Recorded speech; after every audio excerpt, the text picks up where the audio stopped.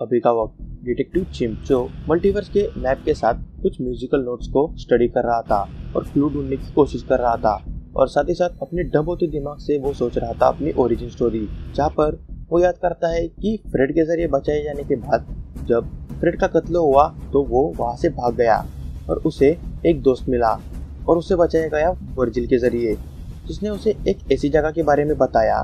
जो कि fountain of youth था और वो चिम के इमोर्टेलिटी की वजह बना। साथ ही साथ उसने उसके सारे घाव भी भर दिए और चिम को एक ऐसा इंटेलेक्ट प्रोवाइड किया जिस वजह से वो किसी भी मुश्किल से मुश्किल केस का भी सिंपल सॉल्यूशन और क्लूज के ज़रिए हल ढूंढ सके।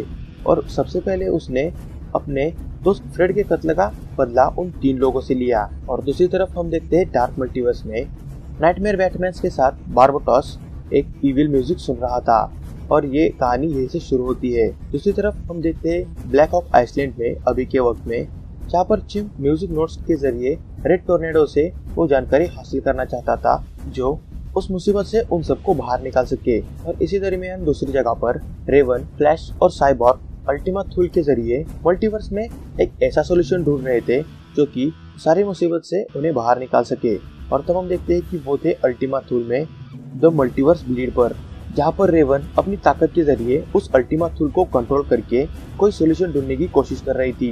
लेकिन तब हम देखते हैं बैटमैन हुलाफ अपनी शिप के साथ उन पर हमला बोल रहा था और मिसाइल्स फायर करते हुए वो उन्हें चोट पहुँचाने की कोशिश कर रहा था और उस मिसाइल्स में डार्क मल्टीवर्स की डार्क एनर्जी भरी हुई थी। और तब हम देखते हैं मर्सीलेस को, जो उस शिप के इंजन को, यानी कि एक केज्ड बेबी यूनिवर्स को चला रहा था और उसकी पावर से वो शिप बहुत ही तेज़ी से और बहुत ही फास्टली आगे बढ़ रही थी।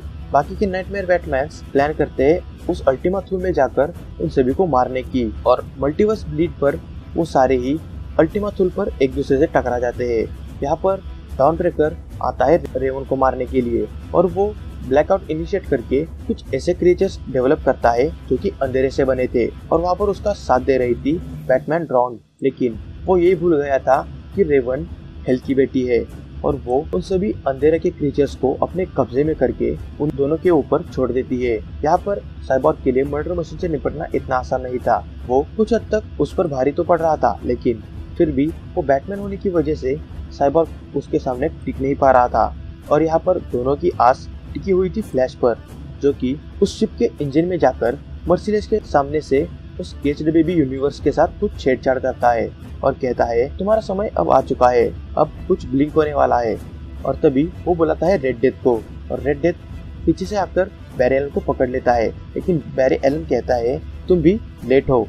और तभी उस केचड बेबी यूनिवर्स में एक धमाका होता है और रेड डेथ के साथ कुछ अनहोनी होती है। और वो कहता है, मैं बैरी हूँ बैरी एलन ब्रूस अब जा चुका है। आखिर मेरे साथ क्या हुआ?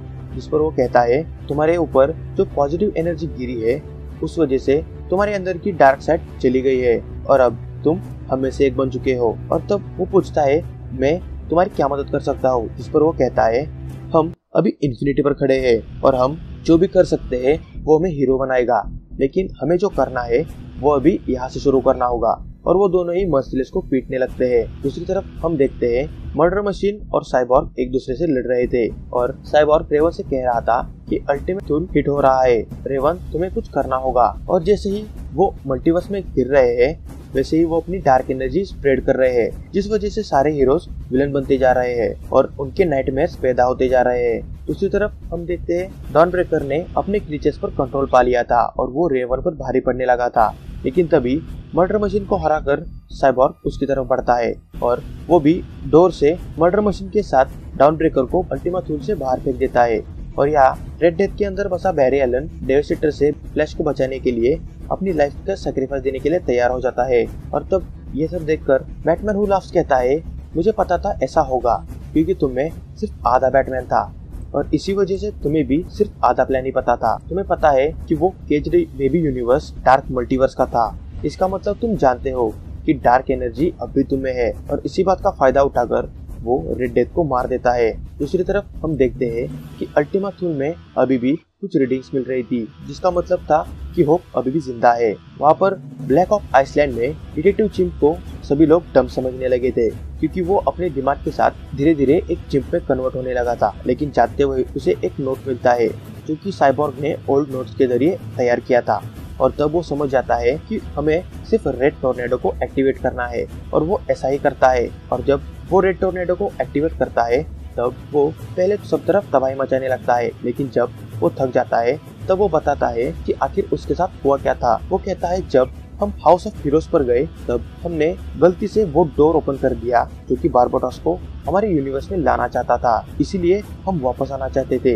हाउस ऑफ़ हीरोज सिर्फ़ और सिर्फ़ एक छलावा था, हमें वहाँ तक ले जाने के लिए। इसीलिए हम वापस घर पर आ गए और साथ ही साथ वो कह रहा था, जो वर्ल्ड अभी मैंने कहे, उसका मतलब है कि सिर्फ़ और सिर्फ़ टेरर दूसरी तरफ़ हम देखते हैं अल्टीमा थूल में रेवन साइबॉर और फ्लैश तीनों ही देख रहे थे कि हाउस ऑफ़ हीरोज अब नहीं रहा और वो कह रहे थे, जो मिसाइल्स वो अल्टीमा थूल पर फायर कर रहे थे, वो हम पर नहीं, बल्कि हाउस ऑफ़ हीरोज पर फायर कर रहे थे। और तब वो देखते हैं कि हाउस ऑफ़ हीरोज अब रहा ही नहीं। वो उस मिसाइल्स की वजह से पूरी तरह से तबाह हो चुका था। दूसरी तरफ़ ब्लैक ऑफ़ आइसलैंड पर सभी लोग इस चिंता में थे कि अब क्या होने वाला है और सबको ये लग रहा था कि अब सब कुछ तबाह होने वाला है। लेकिन तभी डिटेक्टिव चिम के सर में कुछ हलचल होती है और वो देखता है अपने सर में कि वहाँ पर सारे हाउस ऑफ़ हीरोज के हीरोज जो कि आदमी नहीं, बल्कि बोबो की तरह थे, वो कह रहे थे, हम तुम्हें कई सालों से वॉच कर रहे थे, और इमोटिलिटी जो कि तुम्हारा रिवॉर्ड है, उस वजह से हम हीरोज यहाँ पर तैयार हो पाए। हम फिफ्टी थर्ड वर्ल्ड से है,